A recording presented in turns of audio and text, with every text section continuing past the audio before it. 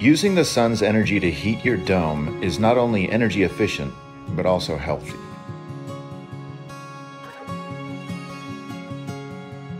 All of our dome packages come standard with a large bay window. When faced to the south, the bay window provides passive solar heating. Many of our clients report that in the winter they do not even need to use their wood stoves when the sun is shining.